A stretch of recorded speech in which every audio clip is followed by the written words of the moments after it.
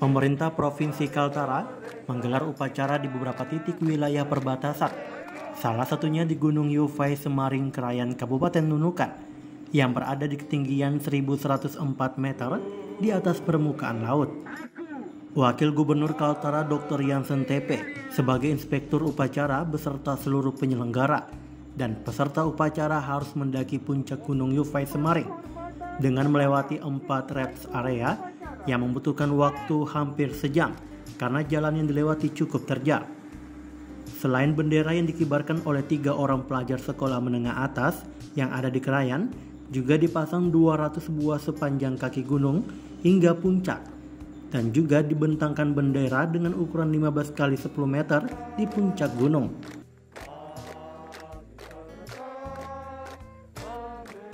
Wakil Gubernur Kaltara Dr. Yansen TP mengatakan, walaupun secara fisik menghadapi tantangan mendaki gunung, tetapi gelora semangat kemerdekaan itu harus tetap dijunjung tinggi.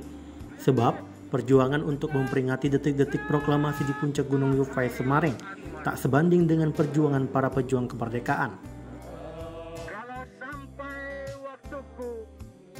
Ya, uh, dilaksanakannya upacara di puncak Yufai Semaring ini ungkapan dari napak tilas dari uh, semangat dari pejar perjuang bangsa kita 76 tahun yang lalu mereka membela menegakkan uh, negara kesatuan Republik Indonesia.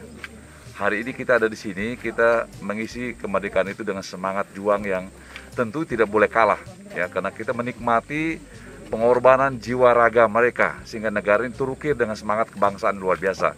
Nah, saya kira apa yang kita saksikan di tempat ini ya memang secara fisik kita apa uh, menghadapi tantangan tetapi gelora semangat kemerdekaan itu harus tetap uh, kita junjung tinggi. Saya kira itu yang paling mendasar sehingga dengan demikian tentu ini menjadi keteladanan kita ke depan Indonesia tetap harus tegak berdiri dengan semangat juang kita. Sementara itu, Kepala Adat Besar Krayan Induk M. Lian mengapresiasi Pemprov Kaltara karena telah melaksanakan upacara peringatan detik-detik proklamasi di Gunung Yufai Semarik Momen ini akan menjadi penyemangat mereka di perbatasan. Menyampaikan apresiasi yang tinggi-tingginya kepada uh, penggagas hingga terjadi acara yang kita selenggarakan di puncak Gunung Yupai Semaring merupakan kebanggaan lembaga adat yang ada di Krayan bahwa ini suatu momen yang tidak akan kami lupakan dan memang konsepnya sangat tepat dan sangat-sangat menginspirasi masyarakat kami bahwa ketika bapak-bapak yang ada di belakang saya ini kembali sedang mengonsep, sedang memikir dan membuat program-program di dalam pembangunan di Kaltara ini, mereka teringat bahwa kami pernah ke Gunung Yupai. Pemerintah Kabupaten Nunukan dipercaya Pemprov Kaltara untuk melaksanakan peringatan detik-detik proklamasi di dua lokasi wilayah perbatasan, yaitu di Karang Unarang yang dipimpin langsung oleh Gubernur Zainal dan di Gunung Yufai Semaring di Krayan dipimpin langsung oleh Wagub Yansen.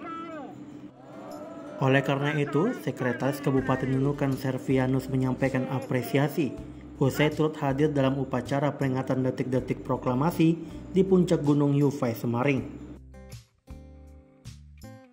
Ini menandakan bahwa uh, kita membangun nasionalisme, uh, patriotisme masyarakat kita di kawasan perbatasan yang tentunya ini agak sedikit unik, esotik ya, karena kita laksanakan pertama kali upacara di Gunung Yufai Semaring.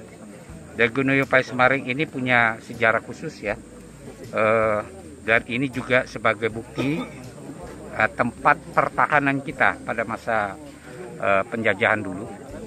Uh, masyarakat kita, uh, tentara kita, membela negara kita berada di dua gunung ini, Ipai Samaring dan di Gunung Paris ya, ada di sebelah. Masyarakat sipil uh, ada di uh, uh, Terang Baru. Agus Salam melaporkan.